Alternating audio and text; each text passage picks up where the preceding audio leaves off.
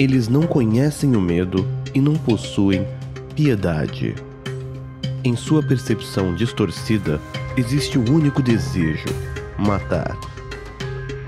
Estas são pessoas com mentes diabólicas. Episódio de hoje: Peter Scully e o Daisy Destruction.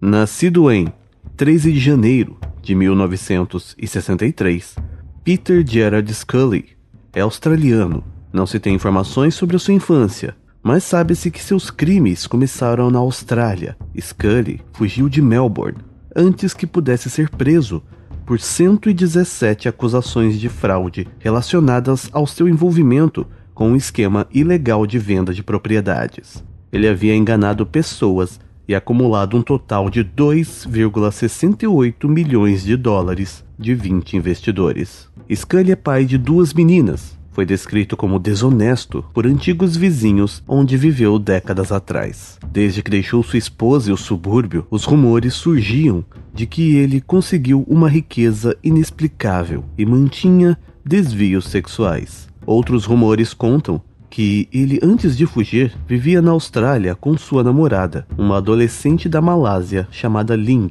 que passou a acompanhá-lo e participava com ele de festas sexuais. Existem informações, inclusive, que dizem que ele mantinha na Austrália dois sites de acompanhantes, onde neles anunciava sua própria namorada. Conhecidos e ex-sócios afirmam que Scully seria capaz de muita coisa se isso lhe rendesse muito dinheiro. Seu mandado de prisão saiu em 2012, mas ele já havia fugido do país para as Filipinas, onde usou dois nomes falsos, Peter Rydell e Peter Russell. Nas Filipinas, Scully tinha uma namorada, Liesel Magallo, isso depois de seis meses que vivia no país. Ela o visitava sempre onde ele morava sozinho. Era uma garota de programa, mas este relacionamento não durou muito tempo e logo Scully buscou nas ruas uma pessoa para ser sua companheira, Carmen Álvares, uma menina de 17 anos que tratou como uma namorada, cuidava dela e a menina tinha agora um lugar para ir,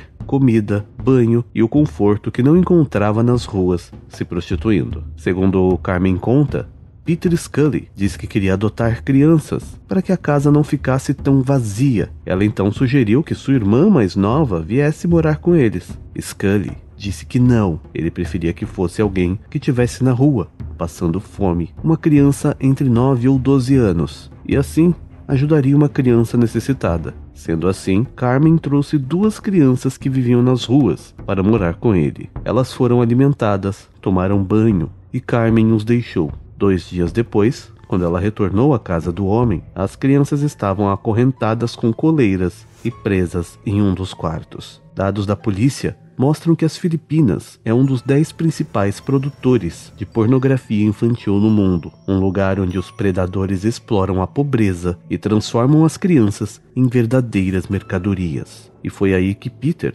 viu uma oportunidade de negócio. Ele já havia atuado com sites que exploravam sexualmente mulheres, e foi fácil para ele estabelecer um site que explorava sexualmente crianças onde ele poderia vender vídeos e fotos de menores de idade sendo abusadas sexualmente e até sendo torturados e mortos. Foi nesta época que surgiu na internet dois boatos sobre a Deep Web, dois vídeos, um chamado Daisy Destruction e um chamado Da Full Love. O Daisy Destruction é o que mostra uma menina de cerca de 3 anos sendo estuprada, torturada e ainda morta por duas pessoas. Não estava claro se a mulher era a mãe da menina ou apenas uma babá, tanto quanto não se sabia quem era a menina e a mulher que usava uma máscara. No início do vídeo, a criança está de joelhos na cama e em seguida é forçada a lamber as partes íntimas de um homem.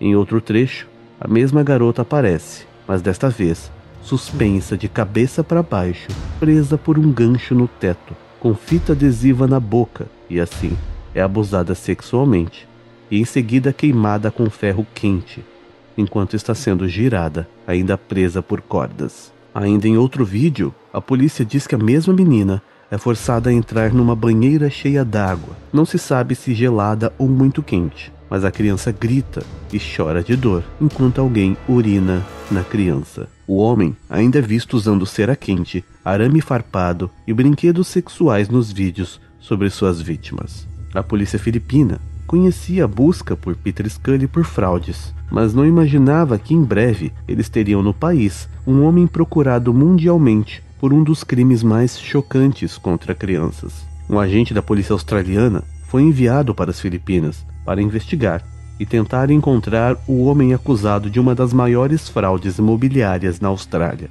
No mesmo período, os vídeos e as fotos de tortura, ditos antes, começaram a serem vendidos na internet por cerca de 10 mil dólares cada. Os boatos se espalharam em fóruns onde pessoas que ficavam sabendo da existência de tal material questionavam se aquilo era real ou não, e logo esses boatos chegaram aos ouvidos da polícia australiana e filipina, que começaram também uma investigação. A nacionalidade da criança e da mulher que aparecia de máscara era evidente. Eles eram filipinos pelos traços físicos reconhecidos, e o homem que falava inglês Apesar de ter seu rosto borrado em todos os momentos em que aparece, tinha um evidente sotaque australiano.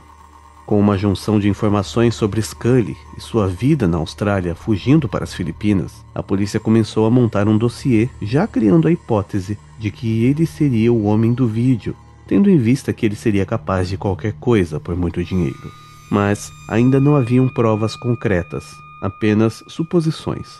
Porém, Cinco dias depois de aprisionadas, duas crianças tentaram escapar da casa de Scully.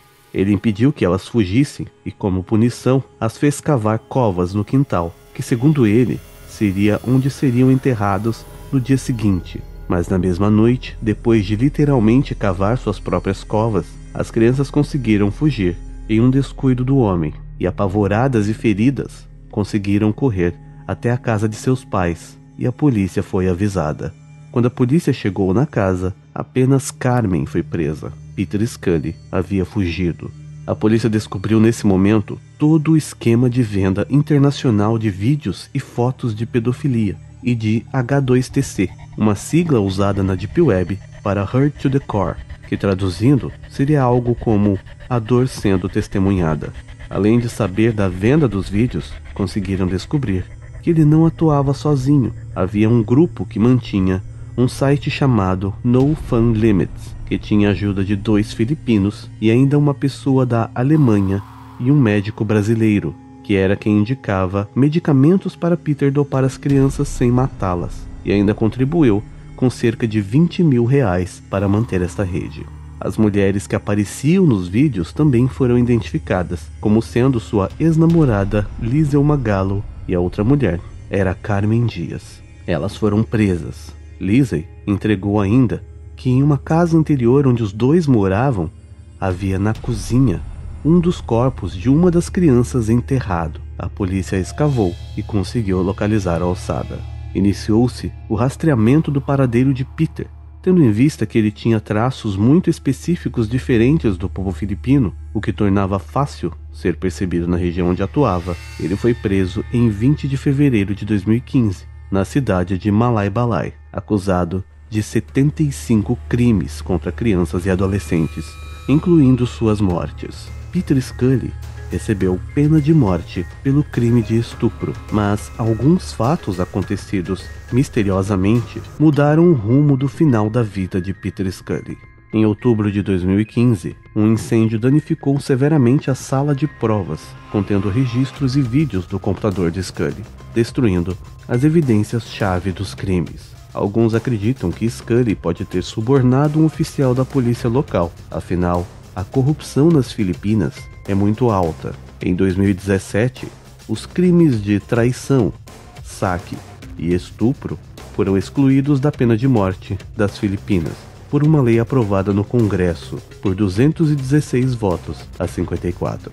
Atualmente, Scully continua preso, mas ainda existe uma luta na justiça para que sua execução seja permitida. Peter Gerard Scully raptou, torturou, abusou sexualmente, fotografou, filmou, vendeu o material e matou 73 vítimas, todas crianças. Peter Scully é uma das pessoas com mentes diabólicas.